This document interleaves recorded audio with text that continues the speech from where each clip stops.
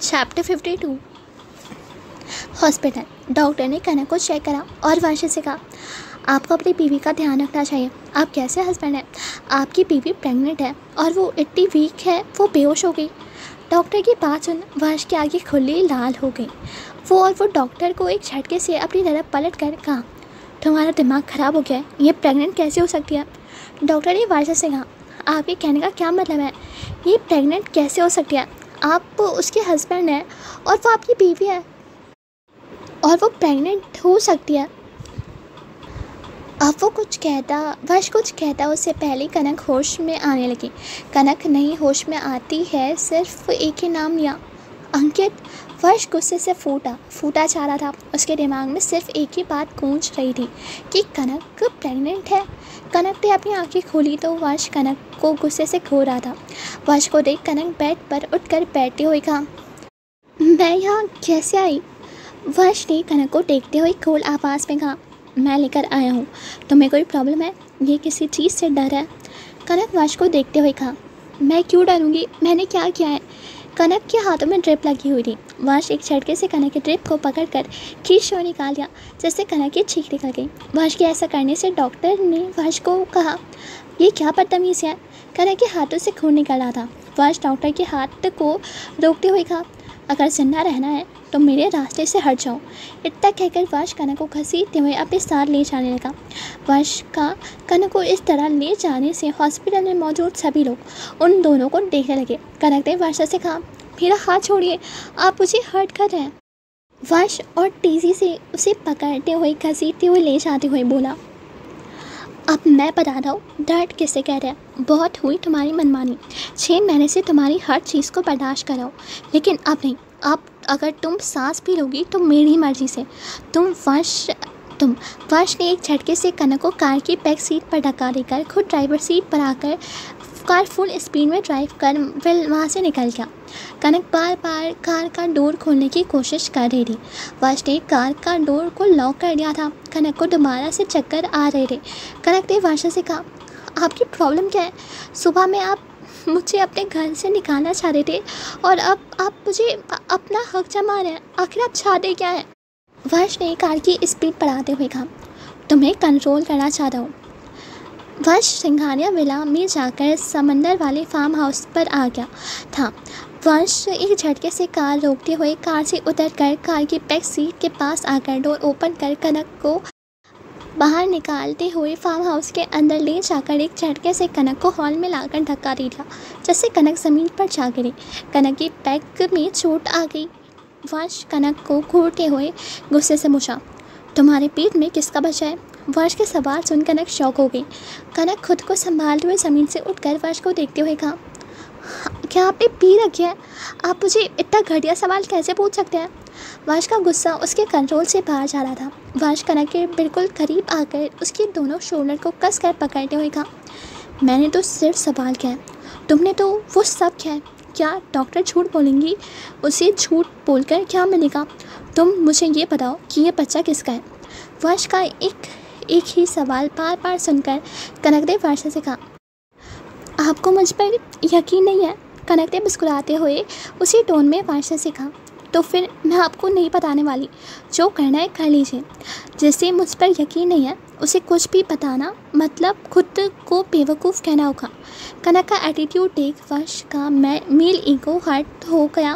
वो कनक के शोल्डर को पकड़कर तेज़ी से तेज़ी से दीवार से सट्टा कर कनक के बिल्कुल करीब आकर कनक से पहली, कनक से कहा, पहली बात, तुम मुझसे इस टोन में बात मत करो। दूसरी बात, मुझे ये बताओ कि आखिर इन छः महीने में तुम किस किस साथ सोकर आई हो? तीसरी बात, इस बच्चे को अबॉर्ट करना होगा। किसी भी कीमत पर, किसी नाजायज बच्चे का बाप नहीं बनूँगा मैं। कनक का दिल तो कर रहा था कि वो वंश को एक सौ डाटा पर मारने का, लेकिन उसके हाथ तो वंश ने पकड़ रखे थे। कनक मोमेंटिंग जैसा महसूस कर रही थी। कनक वंश को खुद से दूर करते हुए कहा। मुझे दूर हटिए। मुझे वॉमिटिंग आ रही है। फ़र्स्ट है कनक से कहा कुछ भी खेलो, लेकिन मेरे सवालों का जवाब दिए बगैर मैं तुम्हें कहीं नहीं जाने दूँगा। कनक को भी समझ नहीं आ रहा था कि उसके साथ ऐसा क्यों हो रहा है। कॉलेज जाने से पहले तो वो बिल्कुल ठीक थी। अचानक से उसकी तबीयत इस तरह ख़राब हो जाना उसे भी बहुत अजीब लग रहा था। उसे बहुत बेचैनी महसूस हो रही थी। आज से पहले उसके साथ कभी ऐसा हो नहीं हुआ था, लेकिन आज पहली बार उसे बहुत अजीब महसूस हो रहा था। कनक वर्ष को खुद से दूर करने की कोशिश कर रही थी, लेकिन वर्ष ने कनक को नहीं छोड़ा था। आखिरकार कनक ने वर्ष के ऊपर मोमेंटिंग कर दी। कनक की मोमेंटिंग करने से वर्ष कनक से दूर होते हुए कहा फॉर द हेल कनक वहाँ से दौड़ते हुए वॉशरूम की तरफ़ भागी। कनक को कंटिन्यू वोमिटिंग हो रही थी। वर्ष अपने कोट को उतारकर वॉशरूम से बाहर खड़ा दूर पर नौ करते हुए कहा ओपन द डोर। कनक ने जब अपने चेहरे को आईने में देखा तो उसका पूरा चेहरा उतर गया था। उसका चेहरा पूरी तरह से पीला पड़ चुका था। उसकी आँखें बिल्कुल लाल थी। तो कनक प्रेग्नेंट कैसे हुई? क्या होगा आगे जानने के लिए बने रहिए। मिलते हैं नेक्स्ट पार्ट में। Chapter fifty three farm house Varsh ने गुस्से से चिल्लाते हुए कहा, मिस कोयल अगर तुमने दरवाज़ा नहीं खोला तो मैं दरवाजे को तोड़ दूँगा। वह जैसे दरवाज़ा तोड़ने को हुआ। कनक ने दरवाज़ा खोल। कनक को देख, कनक को देख वंश कनक पर चिल्लाता उससे पहले ही कनक लड़खड़ा गई। कनक ज़मीन पर गिरती। उससे पहले ही वंश ने कनक को अपनी भाव में थाम लिया। वंश ने जब कनक का चेहरा देखा तो वो परेशान हो गया। वो कनक के चेहरे को छोड़ते हुए कहा, क्या हुआ तुम्हें? तुम इतनी थकी हुई क्यों लग रही हो? और तुम्हारा चेहरा पीला क्यों पड़ रहा है? कनक अपने हाथ को वंश के गले में डालते हुए धीरे से कहा पता नहीं क्यों, मुझे बार बार चक्कर आ रहा है और वोमिटिंग जैसा महसूस हो रहा है। सुबह तक तो सब ठीक था, अचानक मेरी तबीयत बहुत ख़राब हो गई, बहुत अजीब सा लग रहा है, जैसे मेरे अंदर रोलर कोस्टर चल रहा है। वर्ष कनक को अपने भाव में उठाकर वहाँ से लेकर रूम में ला जाकर कनक को बेड पर लेटाते हुए कनक के करीब बैठते हुए कहा, क्या तुम्हें आज से पहले ऐसा कुछ नहीं हुआ था? कनक ने किसी मासूम बच्चे की तरह अपनी गर्दन नामे हिला दी। वंश ने कनक से पूछा तुम लड़कियों को कैसे पता चलता है कि तुम प्रेग्नेंट हो? वंश का सवाल सुन कनक वंश को अजीब नज़रों से देखने लगी। वंश ने जब कनक को अपनी तरफ़ अजीब नज़रों से देखता हुआ पाया तो कहा मुझे ऐसे क्यों देख रही हो? मैं वही जानना चाहता हूँ कि तुम लड़कियों को कैसे पता चलता है कि तुम प्रेग्नेंट हो। आई I मीन mean, कोई तो क्लू होता होगा जिससे पता चल जाए कि तुम प्रेग्नेंट हो। कनक ने वर्षा से पूछा आपने बायो नहीं पढ़ा वर्ष ने कनक से कहा, नहीं, मैंने बायो नहीं पढ़ा। मैं मैथ्स पढ़ा था। मैं बायो कैसे पढ़ूँगा? वर्ष कनक को देख गुस्से में कहा, मैं तुमसे क्या सवाल कर रहा हूँ और तुम मुझे क्या पूछ रही हो? अब इसमें बायो और मैथ्स कहाँ से आ गए? कनक ने वर्ष को देखते हुए कहा, बायो और मैथ्स का ही खेल है। अगर आपने बायो पढ़ी होती तो शायद आपको पता होता कि लड़कियाँ प्रेग्नेंट कैसे होती हैं। उनके प्रेग्नेंट होने का साइकिल पीरियड का क्या होता है? अगर हम लड़कियाँ किसी के साथ इंटीमेट होती है और हम अगर प्रेग्नेंट होती हैं तो हमारे पीरियड्स आने बंद हो जाते हैं। कनक ने ये सब एक ही सांस में कह दिया था। वंश कनक को देखते हुए देखते हुए कहा, अब ये पीरियड्स किस मुसीबत का नाम है? क्या ये भी स्कूल के पीरियड की तरह कोई पीरियड है? कनक ने अपने सर पर हाथ रखते हुए कहा, आपको पीरियड्स के बारे में भी नहीं पता? बस कनक को देख नाम में अपनी गर्दन हिला दिया कनक ने पूछा, आपको मैचुअल साइकिल के बारे में भी नहीं पता? बस ने कनक को देखते हुए कहा, ये कौन सी साइकिल होती है? कनक जिससे रह रहकर चक्कर आ रहे थे, उसने अपने सर पर हाथ रखते हुए कहा, आपको एजेंट किसने बनाया? और आप इतने बड़े बिजनेसमैन कैसे बन गए? आपको बायो की छोटी सी नॉलेज तक नहीं पता? आपको लड़कियों के बारे में कुछ नहीं पता? वर्ष कनक को कहा, जाने वाली नसों से घूटे हुए कहा पीरियड साइकिल। मेरे बिज़नेस और एजेंट से क्या लेना देना और मैं लड़कियों के साथ थोड़ी रहता था, जो उनके बारे में सारी इन्फॉर्मेशन रखूँगा, डी मेरे साथ ज़्यादा नहीं रहती है। वो ज़्यादातर दादी के साथ रहती हैं। रुहान जब उनके पेट में था, तब वो मेरे साथ रहने वाली थी, क्योंकि दादी हमें छोड़कर चली गई। ये सब छोड़ो और मुझे बताओ, वो सब क्या होता है? तुम पहले मुझे ये बताओ कि ये कैसे कंफर्म होगा कि तुम प्रेगनेंट हो? करेक्ट है वर्षा से कहा। अगर हम किसी के साथ इंटीमेट होते हैं और हम प्रेगनेंट हो जाते हैं तो हमारे पीरियड्स आने बंद हो जाते हैं। वर्ष ने बीच में से कहा, इतना तो तुमने पहले ही बताया था। आगे बताओ क्या होता है? कनक ने फ्रस्ट्रेट होते हुए कहा, आप सुनेंगे तब ना मैं आपको बताऊँगी क्या होता है। बीच में बोलना बंद कीजिए। पीरियड्स हर लड़की को आते हैं। इन महीने में तीन दिन या सात दिन। या आठ दिन रह रहता है। हमारे वजाइना से ब्लीडिंग लॉस होती है। इससे ज़्यादा मैं आपको नहीं समझा सकती। अगर तुम्हें जाना है तो फ़ोन पर देख सकते हो। मुझे भूख लगी है। वर्ष अपना फ़ोन निकाल कर कनक से कहा। अभी तुमने क्या नाम लिया था? कनक ने गहरी सांस लेकर कहा, आप सर्च करिए वुमेन पीरियड्स आपको सारी इन्फॉर्मेशन मिल जाएगी। वर्ष कनक के पास वर्ष कनक के पास बैठी ही सर्च करने लगा। उसने सर्च करके लगभग आधे घंटे तक इन सब के बारे में पढ़ा। इन सब के बारे में पढ़कर वो बहुत हैरान हो गया था। वर्ष ने कनक को देखते हुए कहा, तुम लोग इतना खून लाते खासे हो? कनक अपने हाथों को मुट्ठी कसकर बनाते हुए खींचते हुए वर्षा से कहा, अगर आपने एक बार भी कहा ना तो मैं आपका बाल नोच लूँगी। मुझे इस वक्त बहुत गुस्सा आ रहा है। मुझे भूख भी लगी है। फ़र्स्ट को घूरते हुए कहा गुस्सा मुझे भी आ रहा है। चुप होकर बैठो। पहले मेरे सवाल का जवाब दो। फिर खाना।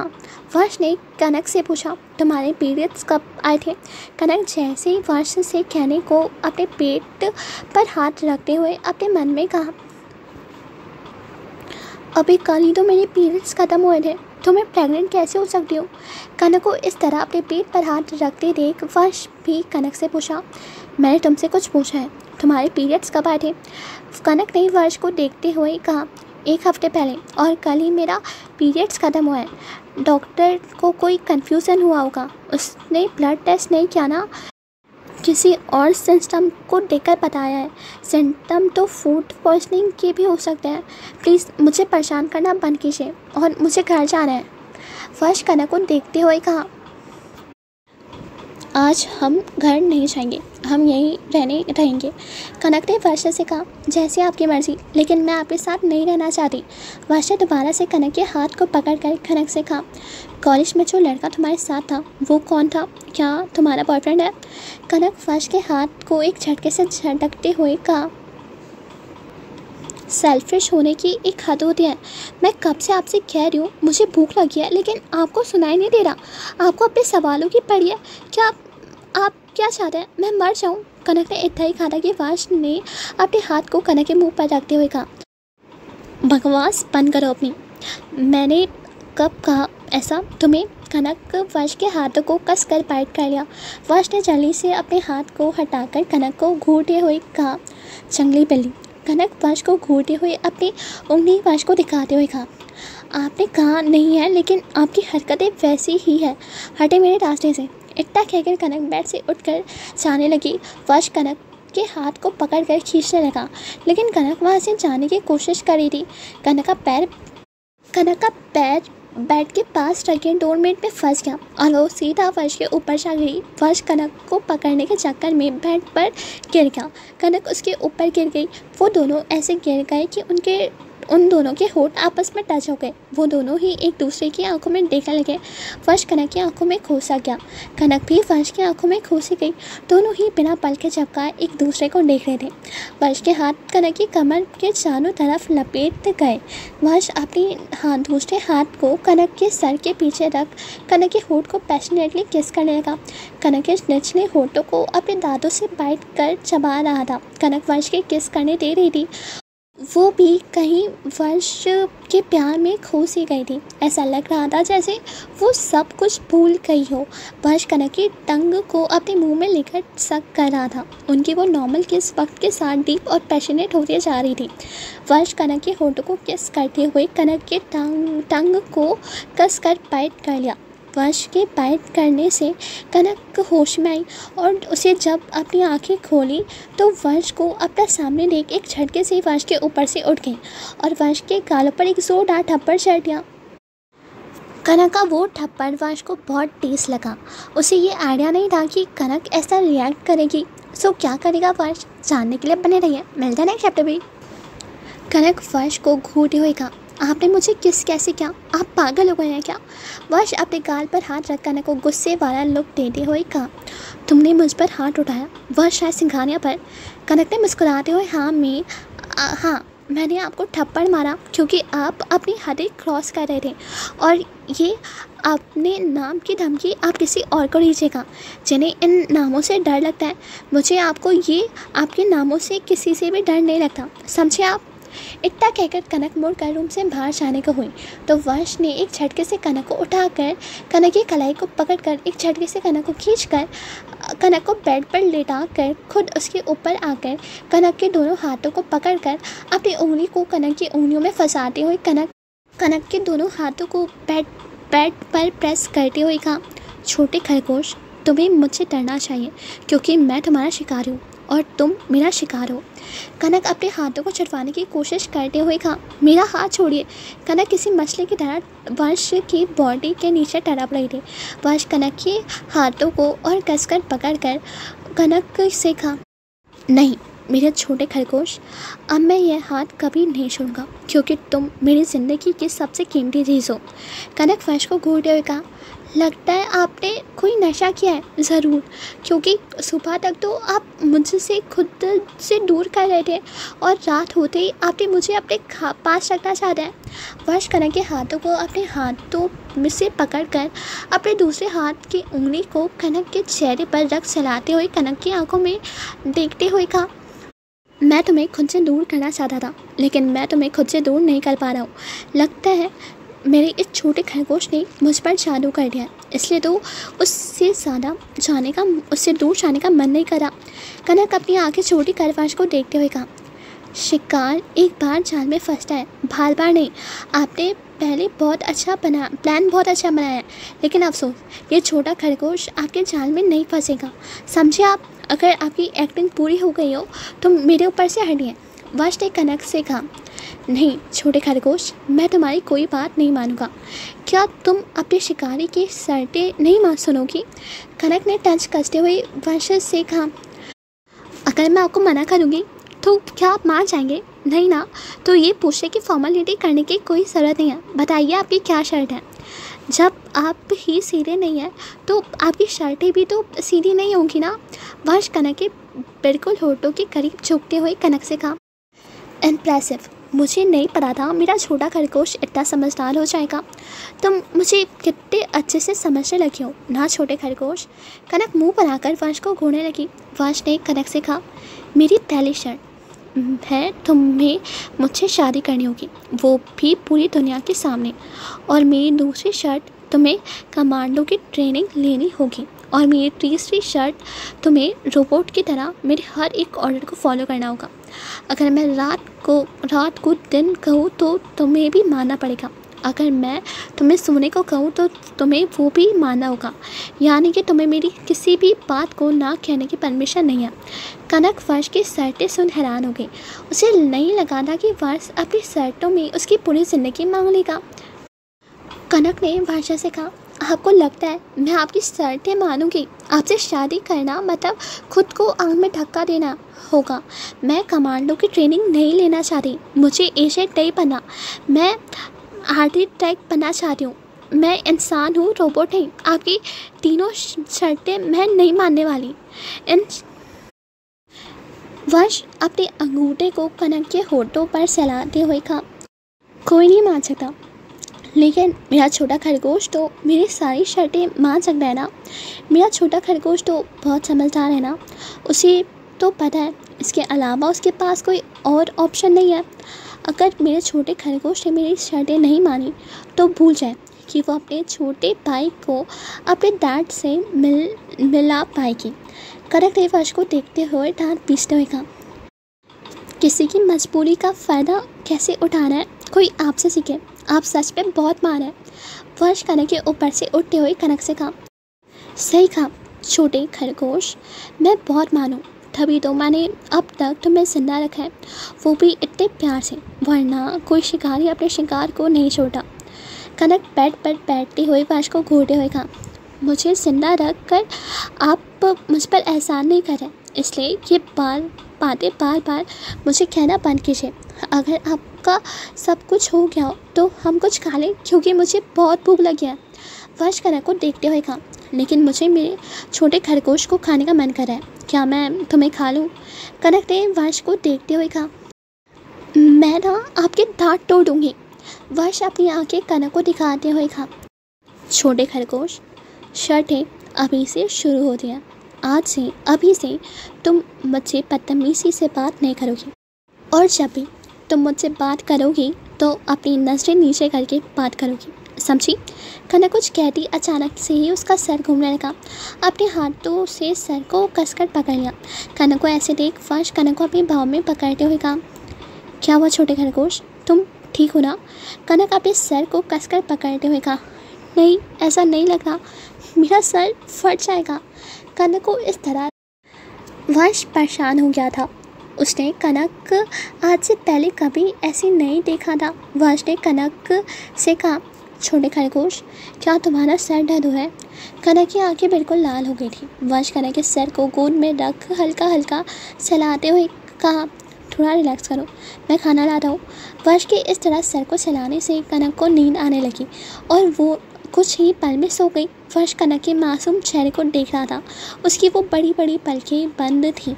उसका वो दूर सा चेहरा दूर जैसा चेहरा बिल्कुल बहुत ही ज़्यादा थका हुआ लग रहा था।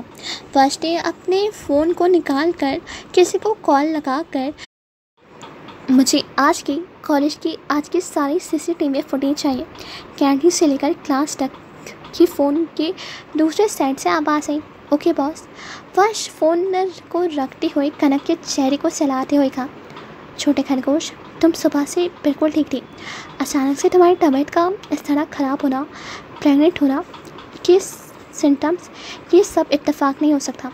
ज़रूर तुम्हारे साथ कुछ गड़बड़ हुई है। अगर मेरा शक सही निकला तो इससे तुम्हारी जान भी जा सकती है। और जिसने भी ये किया है वो दोबारा करने की कोशिश नहीं करेगा। मैं मुझे तुम्हारा चेकअप करवाना पड़ेगा। उम्मीद करता हूँ मेरा शक गलत हो जाए। जैसा मैं सोच रहा हूँ अगर वैसा हुआ तो ऐसी हरकत तुम्हारे साथ कॉलेज में कौन कर सकता है? सो so, क्या होगा आगे जानने के लिए बने रहिए। मिलते हैं नेक्स्ट पार्ट में। Chapter fifty five farm house शाम से रात हो गई थी। कनक अभी भी सो रही थी। वर्ष बैठा लैपटॉप में काम कर रहा था। उसने कॉलेज की सारी सीसीटीवी फुटेज चेक कर ली थी। लेकिन ऐसा कुछ नहीं मिला था जिससे वो ये साबित कर सके कि उसका शक सही था। रात के नौ बजे।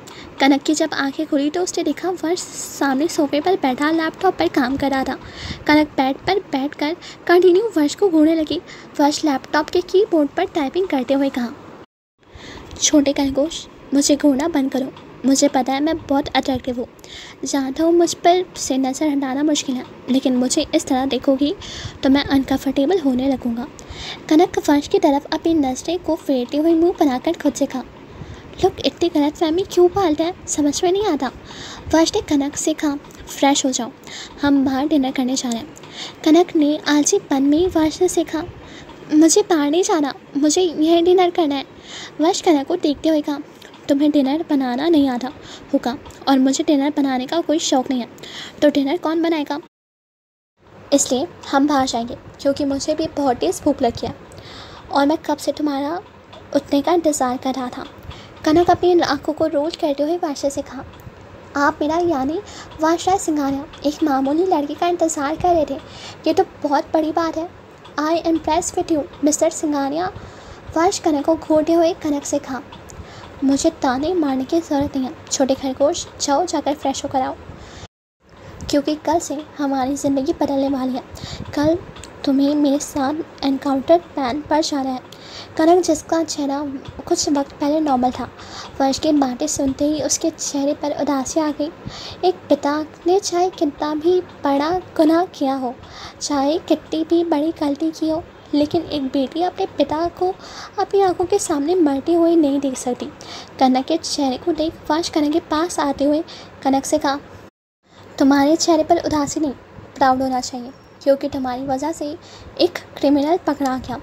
हज़ारों लड़कियों, लड़कियाँ बच गई, करोड़ों लोगों, लोग बच गए। कनक बिना कोई जवाब दिए, वो दिए हुए पैर से उठकर वर्ष के साइड कर साइड करते हुए वॉशरूम की तरफ़ चली गई कनक को इग्नोर कर जा रहे देख वर्ष को बेहद गुस्सा आ गया। वर्ष अपने हाथों की मुट्ठी का स्कर बंद करते हुए कहा, तुमसे अगर हार्ड डिस्क का पासवर्ड नहीं जाना होता तो मैं तुम्हारी बदतमीज़ी को बर्दाश्त नहीं करता। तो मैं अपनी ज़िंदगी से अब तक दूर कर चुका होता। छोटे खरगोश मैं जानता हूँ मैं तुमसे प्यार नहीं करता। बस तुम्हारी तरफ़ अट्रैक्ट हो रहा हूँ। और जब तुम मुझसे दूर हो जाओगी तो ये अट्रैक्शन भी ख़त्म हो जाएगा। वर्ष के होठ कुछ और ही कह रहे थे, लेकिन उसकी आँखें कुछ और ही कह रही थी। ऐसा लग रहा था कि वर्ष अपने आप से झूठ बोल रहा है। ये वो अपने अंदर आए हुए नए एहसास को महसूस नहीं कर पा रहा था। कनक जब वॉशरूम से बाहर आई तो वर्ष कनक को एक तरह देखता रह गया। कनक ने नील लेंथ वाइट फ्रॉक पहनी हुई थी और वो किसी परी की तरह लग रही थी। इस वक्त वो बहुत ही ज़्यादा अट्रैक्टिव और और ब्यूटीफुल लग रही थी। कनक ने वर्षा से कहा, चलिए, वर्ष अपने हाथ को क्रॉस कर खड़े होते हुए कनक से पूछा, तुम इस तरह बाहर जाओगी? कनक वर्ष के सवालिया नज़रों से देखते हुए कहा हाँ क्यों? कोई ख़राबी है? और आप कहना क्या चाहते हैं? वर्ष कनक के बिल्कुल करीब आकर कनक के ऊपर थोड़ा झुकते हुए कनक से कहा, छोटे खरगोश, तुम कभी कभी इतना बेवकूफ़ी भरा सवाल क्यों करती हो? कनक वर्ष को घूने वाला लुक देने लगी। वर्ष कनक को देखते हुए कहा, तुम ऐसे कपड़े पहन कर बाहर नहीं जा सकती। हम खाना खाने जा रहे हैं। लोगों को अपनी तरफ़ अट्रैक्ट करने नहीं कनक को वर्ष की बातें समझ में नहीं आई। कनक ने वर्ष से पूछा, इन कपड़ों में क्या खराबी है? और हम क्यों किसी को अट्रैक्ट करेंगे? हम कपल थोड़ी है और ना ही हम यूनिक दिखते हैं। तो लोग हमारी तरफ़ अट्रैक्ट क्यों होंगे? वर्ष ने गहरी सांस लेते हुए कनक से कहा आज के बाद तुम बाहर शॉर्ट ड्रेस पहनकर नहीं जाओगी। चाहे रात हो या दिन, तुम फुल ड्रेस में बाहर जाओगी। और ये मेरा पहला ऑर्डर है। तुम्हें इसलिए जाओ, जाकर कपड़े चेंज करो और पुनः फुल कपड़े पहन कर आओ। वर्ष की बातों से कनक को बहुत गुस्सा आ रहा था। आज तक उसके पापा ने भी उसे कंट्रोल नहीं किया था और आज वर्ष उसे कंट्रोल करा था। कंट्रोल के साथ साथ वो चाहता था कि वो उसकी मर्ज़ी के कपड़े पहने। कनक हर चीज़ से बहुत ही चूसी थी। उसे कपड़े पसंद करना और पहनना बहुत पसंद था। अपने खाने तक को वो सेटिस्फाई कर सकती थी। लेकिन उसका कपड़ा सिर्फ़ उसकी पसंद का होना चाहिए था। उसने अब तक अपनी पसंद के ही कपड़े पहने थे। आज तक आज तक किसी ने उसे कपड़ों में एडवाइस नहीं दी थी। क्योंकि उसे हर मामले में एडवाइस सुनना पसंद था, लेकिन कपड़ों के मामले में बिल्कुल भी नहीं। कनक फर्श को देखते हुए कहा आप चाहते हैं मैं अपने कपड़े चेंज करूँ? और ये आपका ऑर्डर है। तो आप सुनिए, मैं आपका ये ऑर्डर नहीं मानने वाली। अपने कपड़े चेंज क्यों करूँ? मेरे कपड़े पसंद है मुझे। मैं इनमें कंफर्टेबल हूँ। तो आपको क्या प्रॉब्लम हो रही है? वंश कनक को घूटे हुए कनक से कहा, तुमने कुछ देर पहले मेरी शर्ट के ध्यान से नहीं सुनी। थी। तुम्हें मेरे हर ऑर्डर को फॉलो करना पड़ेगा, चाहे वो तुम्हारी मर्ज़ी से हो या ना हो। कनक गुस्से से पैर पर पाटली मारकर बैठते हुए वर्षा से कहा, मुझे कहीं नहीं जाना। आपके साथ अलग ही ज़बरदस्ती है। आपकी, मुझे मेरे मुझे मेरे कपड़े पसंद हैं और मैं अपने कपड़ों का सेटिस्फाई नहीं कर सकती। मेरे कपड़े अच्छे हैं शॉर्ट भी नहीं है। मैं कंफर्टेबल हूँ। अब क्या चाहिए आपको? वंश कनक के पास खड़े होते हुए कनक के चेहरे को पकड़कर ऊपर कर कनक की आँखों में देखते हुए कहा, मैं नहीं चाहता तुम्हें इस तरह कोई और देखे, क्योंकि इस वक्त तुम अट्रैक्टिव के साथ साथ हॉट भी दिख रही हो। वंश ने इतना ही कहा था कि कनक अपनी आँखें बड़ी बड़ी कर वंश को देखने लगी। उसने अपनी पल की एक बार भी नहीं झपकाई उसके गाल गर्म हो गए और चेरी की तरह लाल हो गए। सो क्या होगा आगे जाने के लिए बने रहिए मिलते हैं नेक्स्ट पार्ट पे। चैप्टर फिफ्टी सिक्स कनक अपने दोनों हाथों को वर्ष के चेस्ट पर रखकर वर्ष को डूल करते हुए नज़र चुराते हुए वर्ष से कहा, आपने अभी क्या कहा? मैं हॉट और अट्रैक्टिव लग रही हूँ। सच में, मैं इतनी ज़्यादा अच्छी लग रही हूँ। कनक को बच्चों की तरह बिहेव करे देख वर्ष कनक को देखते हुए कहा, आसमान में उड़ने की ज़रूरत नहीं है। नीचे ज़मीन पर आ जाओ और जाकर कपड़े चेंज करो। कनक बेड से उठकर वर्ष के हाथों में अपना हाथ को डालकर वर्षा से कहा, क्या आप नहीं चाहते कि लोग आपकी होने वाली वाइफ की खूबसूरत कहें? आप सोचिए, अगर मैं लोगों के सामने अजीब कपड़े पहनकर जाऊँगी तो लोग सोचेंगे कि दीप वर्ष राय सिंघानिया ने कैसी लड़की को पसंद किया है। आपके टेस्ट कितना ख़राब है। अच्छा नहीं लगता। सभी को पता चलना चाहिए ना कि आपकी वाइफ आपकी चॉइस कितनी अच्छी है। वर्ष कनक के हाथों को, अपने हाथों में से निकाल कर कनक से कहा छोटे खरगोश, मुझे बटर लगाना बंद करो। कनक दोबारा से वर्ष के हाथों को किसी छोटे बच्चे की तरह पकड़ते हुए कहा, मैं आपको बटर नहीं लगा रही। माई लॉर्ड कनक के मुँह से माई लॉर्ड सुन। वर्ष कनक को घूरते हुए कहा तुम मुझे मैलॉट क्यों कह रही हो? कनक फर्श के हाथों को छोड़ते हुए रूम से बाहर जाते हुए कहा, अब आप मुझे जज की तरह फैसला सुनाते हैं तो मैं आपको क्या कहूँ? मैं आपको सर कह नहीं सकती, क्योंकि आप इतने इतने रिस्पेक्ट डिज़र्व नहीं करते। और मैं आपको जानू सोना बाबू बुला बुला नहीं सकती, क्योंकि मैं अब आपसे प्यार नहीं करती। आप मुझ पर ऑर्डर मारते रहते हैं तो आपको मैं लॉर्ड कह सकती हूँ, क्योंकि ये नाम आप पर फिट बैठता है। वर्ष कनक के पीछे जाते हुए कनक से पीछे जाकर, कनक के पीछे से फ्रॉक को पकड़कर कनक को अपनी तरफ़ खींचते हुए कहा, छोटे खरगोश, तुम्हें मेरा ऑर्डर सुनाई नहीं दिया। वो मैंने क्या कहा? अभी तुम, तुमसे? कनक फर्श की तरफ़ पलट कर ज़बरदस्ती का दांत दिखाते हुए कहा माय लॉर्ड, आप समझ क्यों नहीं रहे? मुझे भूख लगी है बहुत तेज़ी से, और इतना टाइम नहीं है, और इतना टाइम नहीं है कि मैं अपने कपड़े चेंज करूँ। और फिर हम डिनर करने चले। आज मैं यही कपड़े पहनकर जाती हूँ। आगे से मैं आपके सारे ऑर्डर फॉलो करूँगी। ओके माय लॉर्ड कनक की एक्टिंग देख वर्ष हल्का सा मुस्कुरा दिया। उसने जब घड़ी में देखा तो सच में काफ़ी देर हो चुकी थी। वो कनक के हाथ को पकड़ कर कनक से कहा, बाहर जाने के बाद तुम कोई होशियारी मत करना। किसी लड़के से बात मत करना। किसी अनजान से भी बात मत करना। समझी?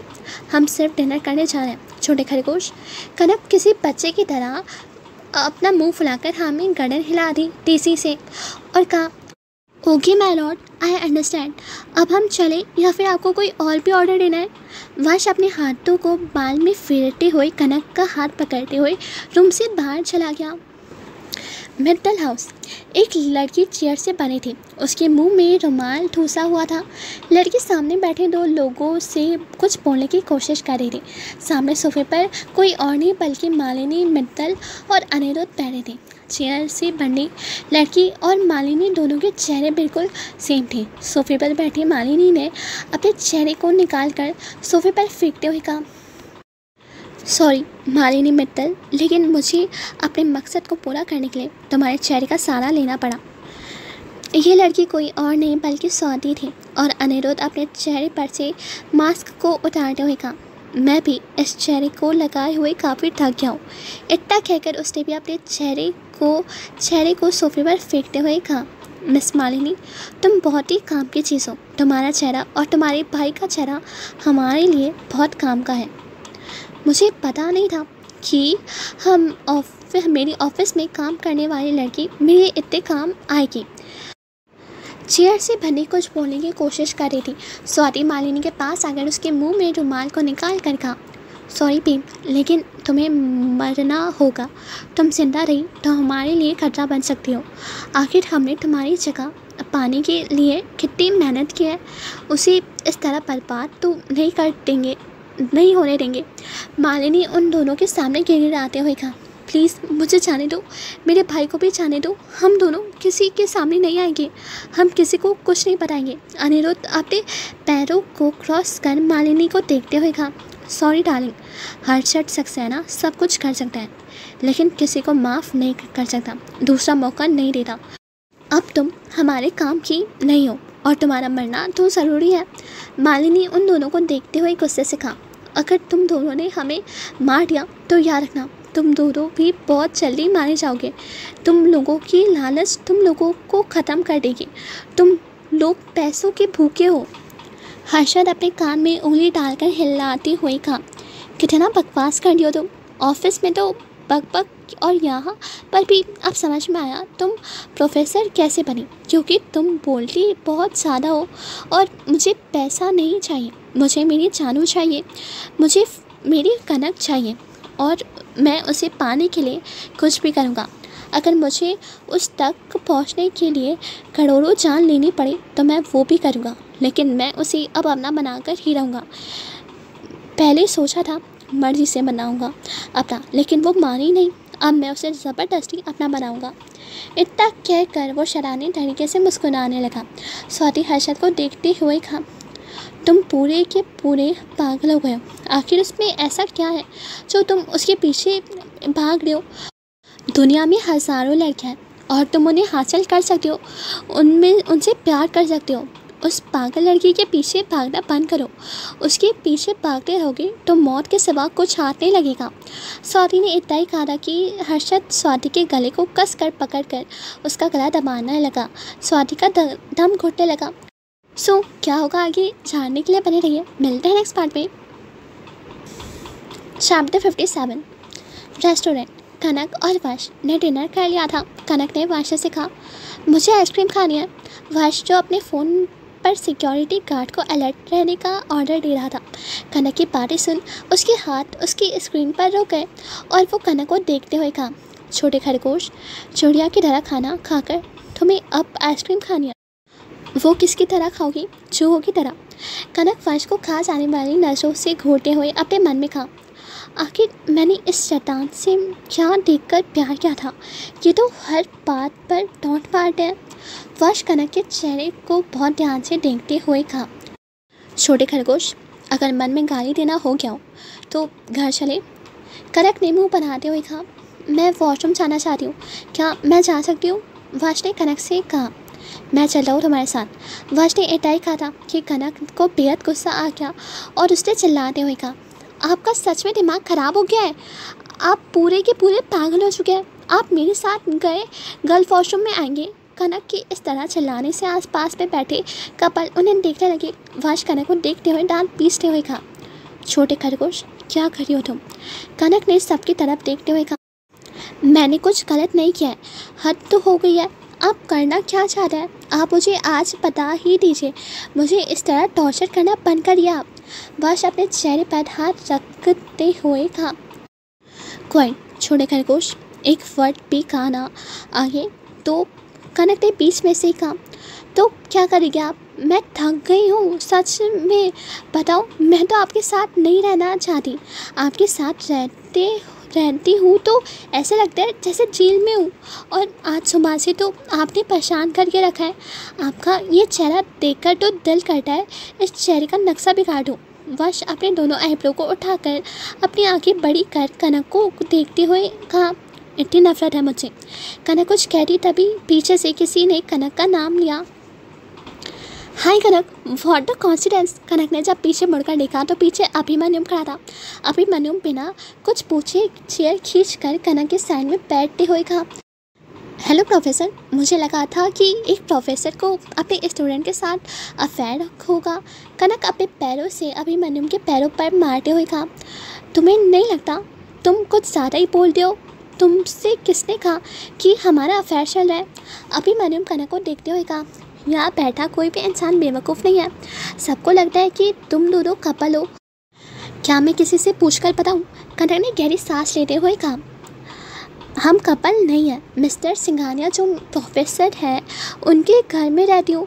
उन, उनकी सिस्टर के बेबी के केयर टेकर हूँ। और वो मेरे काम में इतने इम्प्रेस हो गए कि वो मुझे डिनर करवाने लेकर आए। और एक बात, ये बात कॉलेज में किसी को भी मत बताना। अगर सबको पता चल गया ना कि मैं मिस्टर सिंघानिया के साथ आई हूँ तो पता नहीं क्या होगा। मैं चाहती हूँ जो लोग भूल चुके हैं, उन्हें फिर से कुछ याद ना आए। अभिमन्यु वश को देखते हुए कहा, hello, agent, nice to meet you. अभिमन्युम के मुँह से एजेंट सुन वश हैरान हो गया। वश को हैरान देख अभिमन्युम ने भाषा से कहा, अंडर कवर एजेंट हैरान होने की ज़रूरत नहीं है। लगता है विक्रम चौहान ने बताया नहीं कि उसका एक बेटा भी है। मैं मानसी सिंह राठौर का बेटा अभिमन्यु सिंह राठौर हूँ, जो विक्रम चौहान का एक्स वाइफ है।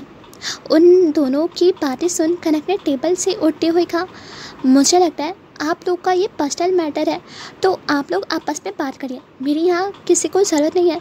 इतना कहकर कनक जैसे जाने को हुई, वश कनक के हाथ को पकड़ा उससे पहले अभिमन्यु कनक के हाथ को पकड़ते हुए ज़बरदस्ती चेयर पर बिठाते हुए कहा, तुम्हारी सबसे ज़्यादा ज़रूरत है। टमाटर कनक अभिमन्यु को घूरते हुए कहा वॉट टमाटर? तुम पागल हो गए हो। तुम मुझे जितन जानते कितना हो, जो मेरा नाम रख रहे हो। अभिमन्यु एक झटके से कनक को अपनी तरफ़ कर कनक से कहा, जब तुम गुस्से में रहती हो ना तो टमाटर की तरह लाल हो जाती हो। इसलिए मैंने तुम्हारा नाम टमाटर रख दिया। और किसी को जानने के लिए एक पल भी काफ़ी होता है, और हमने तो कुछ घंटे ही साथ बिताए हैं। वर्ष गुस्से से कनक के पास आकर, कनक के शोल्डर को पकड़कर उसे उठाकर अपने पीछे करते हुए अभिमन्यु पर देखते हुए कहा, तुम जो कोई भी हो, मुझे तुमसे मतलब नहीं है। मेरे छोटे खरगोश से दूर रहो। अभिमन्यु अकर से वंश के सामने खड़े होते हुए कहा, क्या कहा तुमने? छोटे खरगोश, क्या बात है टमाटर? तुम्हारे तो कई नाम है। कनक ने अपने अपने सर पर हाथ रखते हुए कहा, ये कहाँ फंस गई मैं? वश अभिमन्यु की तरफ़ उंगली पॉइंट करते हुए कहा, मेरे छोटे खरगोश से रहो। उसके करीब आए तो तुम्हारी बॉडी दुनिया से गायब हो जाएगी। अभिमन्यु वश के सामने खड़े होते हुए वश को चिड़ाने वाली लहजे में कहा सॉरी प्रोफेसर और एजेंट आप ऐसा नहीं कर सकते, क्योंकि एक एजेंट करना वाला काम नहीं कर सकते। लेकिन मैं कर सकता हूँ। इसलिए आप मेरी बात ध्यान से सुनो। मेरे टमाटर को ज़रा भी दर्द नहीं होना चाहिए, वरना मैं उसे तुम्हारी पाँव में से छुड़ा लूँगा। और अभी मनिम सिंह राठौर खोखली धमकी नहीं देता। मैं जो करता हूँ, वो पूरा करके दिखाता हूँ। इतना कहकर अभिमन्यु अपनी आँखें को घुमाते हुए वहाँ से चला गया। वाश ने जब पीछे मुड़कर देखा तो कनक को वहाँ ना देख क्योंकि कनक उसके पीछे नहीं थी। वाश कनक को रेस्टोरेंट के रेस्ट रूम में लेकर वॉशरूम तक चेक कर लिया, लेकिन कनक उसे कहीं नहीं मिली। अब वो बहुत ज़्यादा परेशान हो गया था। उसे अजीब सी पेशानी होने लगी थी। उसकी heart beat normal heart beat से बहुत ज़्यादा टेस्ट जो तेज़ हो चुकी थी। वो अपने दिल पर हाथ रखे हुए अपने मन में कहा, कहाँ हो, छोटे खरगोश?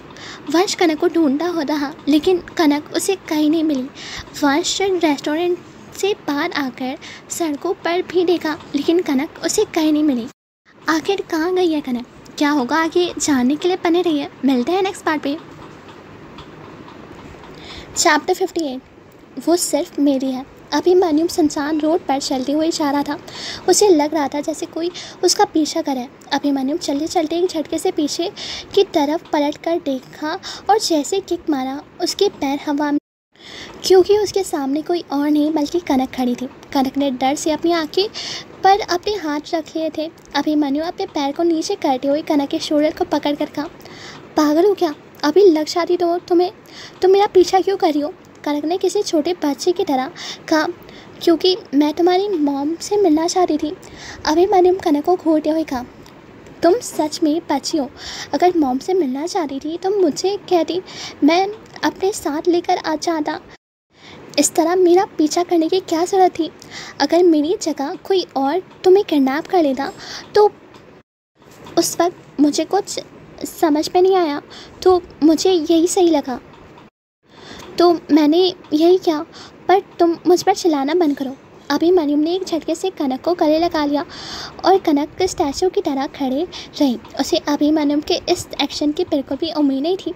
अभी मरियम ने कनक को कसकर गले लगाते हुए कहा, तुमने तो मेरी जाने निकाल दी थी। पागल लड़की, आगे से ऐसी गलती मत करना। तुम नहीं चाहती, तुम मेरे लिए कितने इंपॉर्टेंट हो कनक अपने दोनों हाथों को अभिमन्यु के कमर पर रखकर अभिमन्यु को खुद से दूर करते हुए कहा, दूर हटो मुझसे। मैंने तुम्हारी मॉम से मिलने के लिए कहा मिलने के लिए क्या कहा, तुम तो उसका एडवांटेज उठाने लगे।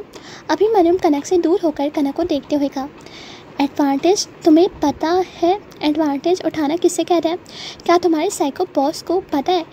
तुम यहाँ पर हो कनक ने अपनी गर्दन ना मिला दी। अभिमन्यु ने कनक से कहा, क्या तुमने उसको बताया नहीं कि तुम यहाँ पर हो? पागल हो जाएगा। वो तुम्हें ढूंढते ढूंढते तुम्हें उसे बताकर आना चाहिए था। ना, कनक अभिमन्यु को घूटे हुए कहा, तुम पागल हो। अगर मैं उन्हें बताती तो वो मुझे यहाँ नहीं आने देते। तुम्हें लगता है, तुम्हें पता है छः महीने से मैं तुम्हारी मॉम को ढूंढ रही थी, लेकिन मुझे मिल ही नहीं रही थी। आज तुम्हारे मुँह से आज तुम्हारे मुँह से उनका नाम सुना तो मुझे कुछ याद नहीं रहा और मैं बिना बताए तुम्हारे पीछे आ गई। दोनों इस बात से अनजान थे कि दूर खड़ी कान में बैठा इंसान उन्हें अपनी चलती आँखों से घूर रहा था। ये कोई और नहीं, बल्कि वंश था। वंश तब यहाँ आया था जब अभिमन्यु ने कनक को गले लगाया था। अभिमन्यु कनक के चेहरे पर हाथ रखते हुए कहा, पहले तुम वापस उसके पास जाओ। मॉम भी तुमसे मिलना चाह रही है, लेकिन अभी सही वक्त नहीं है। दुश्मन अभी भी तुम्हारे पीछे है। ऐसे तुम्हारी और मॉम की जान खतरे में पड़ सकती है। मैं मॉम की और तुम्हारी जान को खतरे में नहीं डाल सकता। तुम समझ रही हो ना टमाटर? कनक ने अपनी गर्दन हाँ में ला दी अब भी मनियम कनक को वहाँ से लेकर जा रहा तभी उनके सामने पूरी फुल की तभी एक कार फुल स्पीड में उनके सामने आकर खड़ी हो गई और बस उनके कुछ इंच की दूरी पर थी। अगर वो कार नहीं रुकती तो आज उन दोनों का बुरी तरह से एक्सीडेंट हो जाता। कार को अपने बिल्कुल करीब आते देख कनक डर गई। अभिमन्यु ने कनक को अपने गले से लगा लिया। अभिमन्यु कार के सामने था और कनक उसके पीछे थी। उस कार की हेडलाइट उन दोनों पर जल रही थी। उस कार का डोर ओपन कर वश बाहर आया वश ने बाहर आकर देखा अभिमन्यु ने कनक के चेहरे को अपने सीने से छुपाया हुआ था। उसे इस बात से इतना गुस्सा आ रहा था कि वो पागलों की तरह उसे रेस्टोरेंट में ढूंढ रहा था और वो यहाँ किसी और के पाँव में खड़ी थी। वर्ष एक झटके से कनक के पास जाकर कनक के हाथ को पकड़कर अभिमन्यु से अलग करते हुए कहा, मैं तुम्हें पागलों की तरह ढूंढ रहा था और तुम यहाँ इश्क लड़ा रही हो। तुम जानती हो इसे। तुम्हें मिले चौबीस घंटे भी नहीं हुए और तुम इसके भाव में हो। लगता है तुम सच में एक एक्सॉट कल भी बन गई हो। वश ने इतना ही कहा था कि अभिमन्यु में एक डार का पंच पंच के मुँह पर मारते हुए कहा अपने सामान संभाल कर बोलो, तुम जानते भी हो, तुम क्या कह रहे हो? उसने कुछ गलत नहीं किया। मैंने ही उसे गले लगाया था। वश ने भी एक डार का पंच अभी अभिमन्यु को मारते हुए कहा तुम्हारी हिम्मत कैसे हुई? उसे छूने की। वो सिर्फ़ मेरी है ये बात कान खोलकर सुन लो। तुम दोनों को आपस में लड़ते देख कनक ने चिल्लाते हुए कहा, स्टॉप! लेकिन फिर भी दोनों नहीं रुके। दोनों को ना रुकते देख कनक ने पास में पड़े एक पत्थर को उठाकर कार के फ्रंट मिरर पर फेंक दिया जैसे कार का फ्रंट मिरर टूट कर बिखर गया और वो दोनों भी रुक गए। कनक अभिमन्यु के सामने आकर खड़ी हो गई और वंश को देखते हुए कहा, बस करिए, आप उसे क्यों मार रहे हैं? उसने सिर्फ़ मुझे गले लगाया था। वो भी बचाने के लिए। आपको तो उसे थैंक यू कहना चाहिए।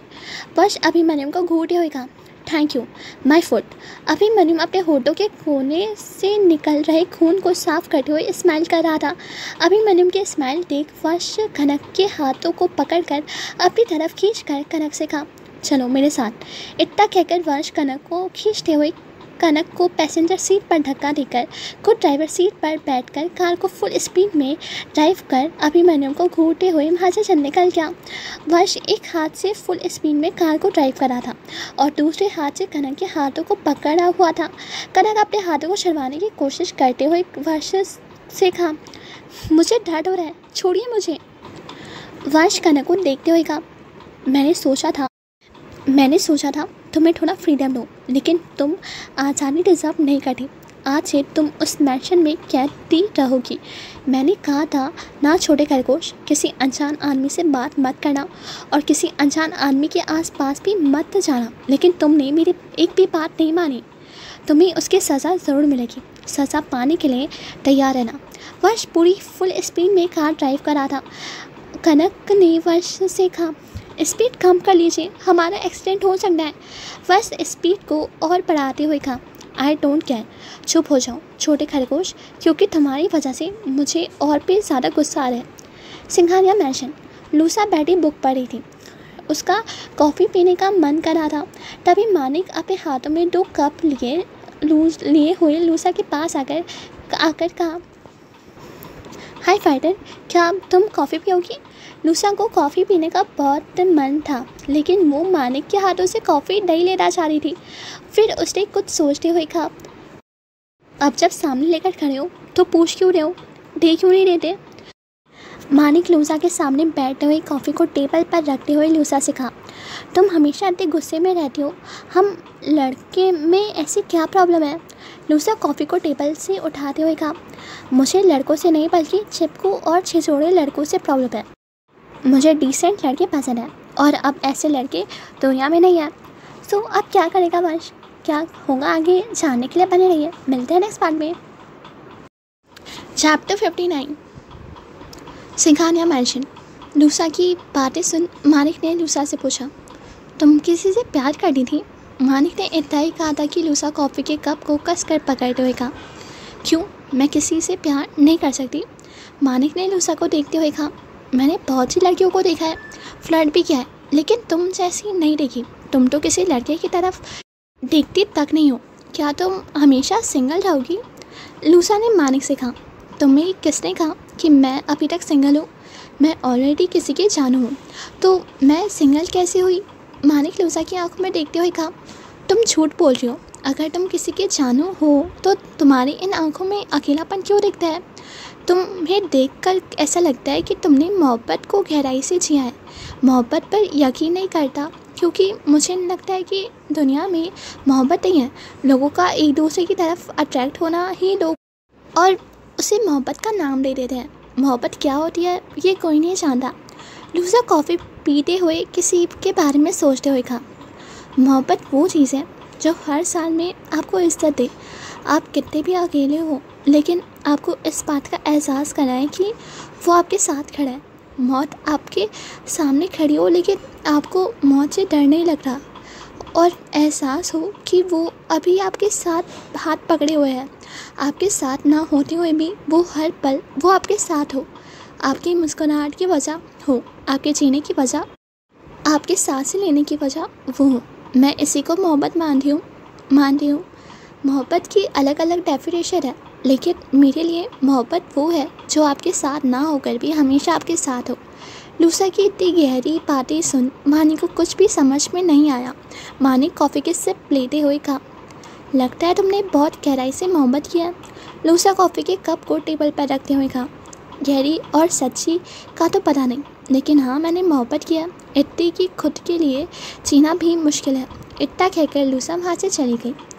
मानिक लूसा को चाहते हुए कहा मान गए ब्रो, आपने आज, आपने सच में ऐसी लड़की से प्यार किया है जो आज भी आपसे प्यार के अपने दिल में ज़िंदा रखी है।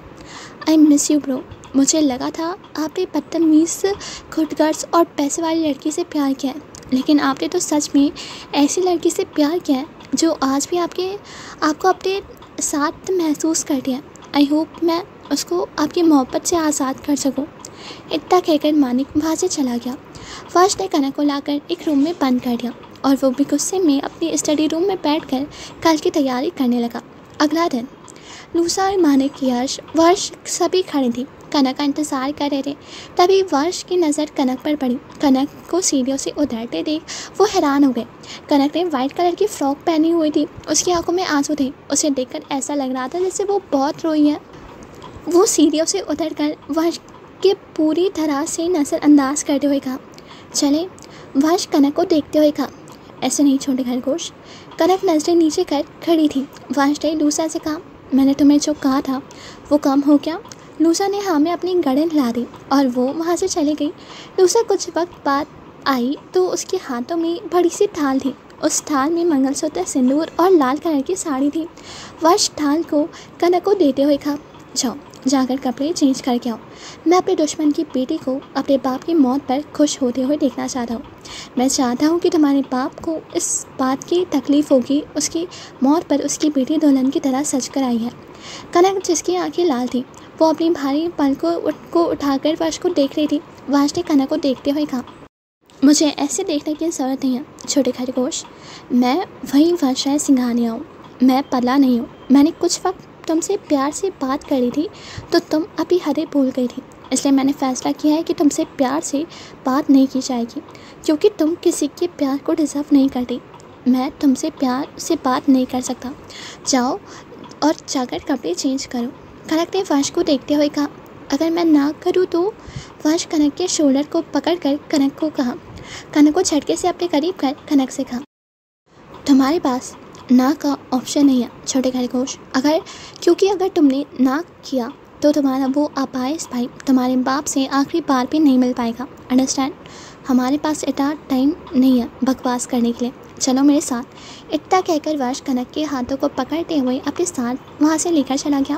वर्ष कनक को रूम में लाकर कनक को धक्का देते हुए साड़ी को उसके मुँह पर मारते हुए कहा, तुम्हारे पास पंद्रह मिनट है। जाओ और तैयार होकर आओ। इतना कहकर वो वहाँ से चला गया। पंद्रह मिनट बाद कनक लाल साड़ी पहने हुए बाहर आई। उसके बाल खुले हुए थे। लाल साड़ी में वो बेहद खूबसूरत और मासूम लग रही थी। कनक वर्ष के सामने खड़ी हो गई थी। वर्ष कनक को देखते हुए कहा, अभी भी तुम पूरी तरह से तैयार नहीं हुई हो। छोटे खरगोश इतना कहकर वंश ने मंगलसूत्र उठाया और उसे कनक के गले में पहना दिया। उसे सिंदूर की डिब्बी से सिंदूर निकाल कर कनक के सर पर हल्का सा लगा दिया। कनक एक सुहागन लग रही थी। माथे पर सिंदूर गले में मंगलसूत्र, उसकी आँखों में आँसू गिर गए। उसने अपनी शादी के लिए बहुत सारे सपने देखे थे। वो अपनी शादी कहानियों की फेरी टेल जैसी ही शादी थी, लेकिन उसे नहीं पता था कि उसका ये सारा सपना सिर्फ़ सपना ही रह जाएगा। वर्ष करे के हाथों को पकड़े हुए वहाँ से चला गया। उसके पीछे वो तीनों भी चले गए। एक बहुत बड़ा स्टेडियम था, जहाँ कई हज़ारों लोगों की पब्लिक थी। ऐसा लग रहा था जैसे पूरा मुंबई शहर वहाँ आया था। स्टेडियम के बीचों बीच मिस्टर धनराज गोयल खड़े थे। उनके हाथों में हटकड़ियाँ थी। इन छः महीनों में उन्हें बहुत ही सारा टॉर्चर किया गया था। स्टेडियम में हर कोने पर बड़ी बड़ी टीवी लगी थी, जिसमें मिस्टर धनराज गोयल लाइव दिख रहे थे। वहाँ का माहौल ऐसा लग रहा था जैसे वो बहुत बड़ा क्रिकेट मैच हो और पब्लिक मैच देखने आई हो। लेकिन सच ये था कि आज यहाँ पर एक क्रिमिनल का एनकाउंटर किया जा रहा था। ऐसा हिस्ट्री में पहली बार हो रहा था, इसलिए कुछ लोग बहुत ही ज़्यादा हैरान थे। उन सभी को लगा नहीं था कि एक क्रिमिनल को एनकाउंटर यूँ पब्लिक के पीछों पीछ किया जाएगा।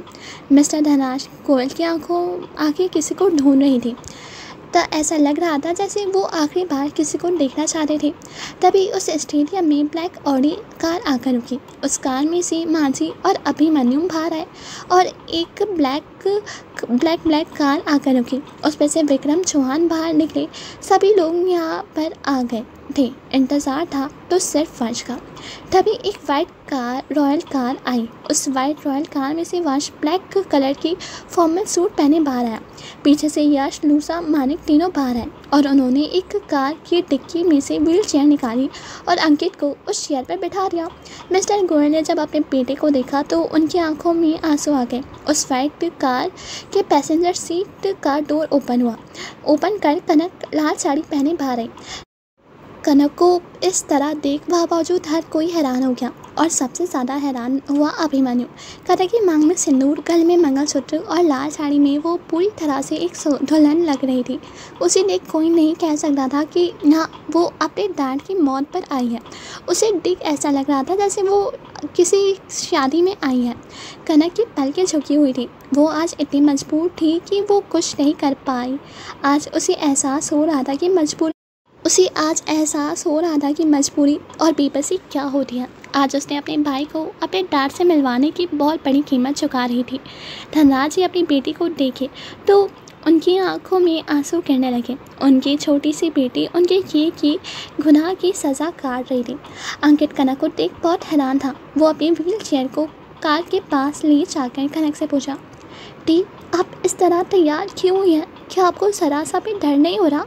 कनक अपने भाई के पास घुटनों पर बैठते हुए अपने हाथ को अंकित के चेहरे पर रखा। तुम डैड से मिलना चाहते थे ना? तो चलो, डैड से मिलते हैं।